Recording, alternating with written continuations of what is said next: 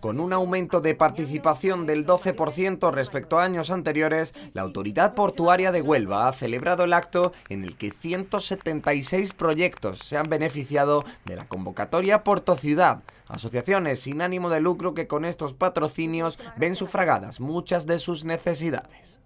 176 colectivos que se van a ver beneficiados de estas ayudas, un 12% más que el año pasado, una cantidad importantísima que además ha crecido este año también, 230.000 euros, cantidad importante también.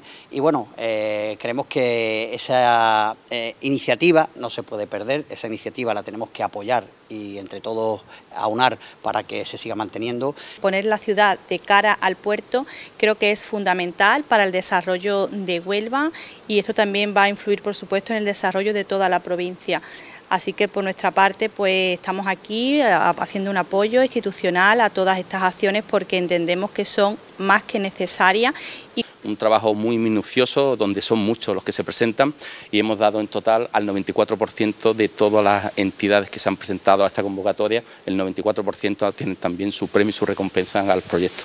Son 230.000 euros los que aportamos desde el puerto de Huelva a todas estas entidades y hemos pasado el año pasado de 157 entidades a 176. Además, creo que muy bien repartida.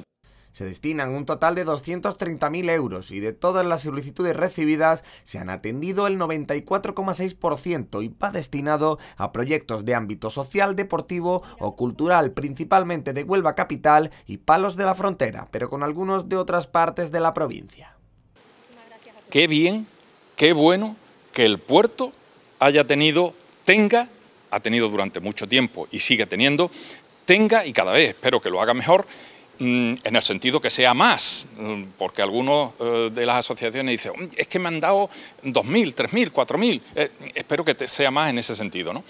Eh, qué bien que haga esto y qué bien que todas las administraciones nos concienciemos en que es necesario repercutir toda la labor, todo el trabajo, todos los beneficios en favor de los ciudadanos. Sin ellos no podríamos llegar al corazón de los problemas de la ciudad.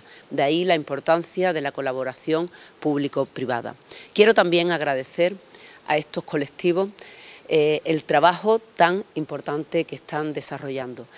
Una convocatoria que ayuda durante el año a 176 proyectos y que se convierte en una forma más de trabajar en el acercamiento del puerto a la ciudad.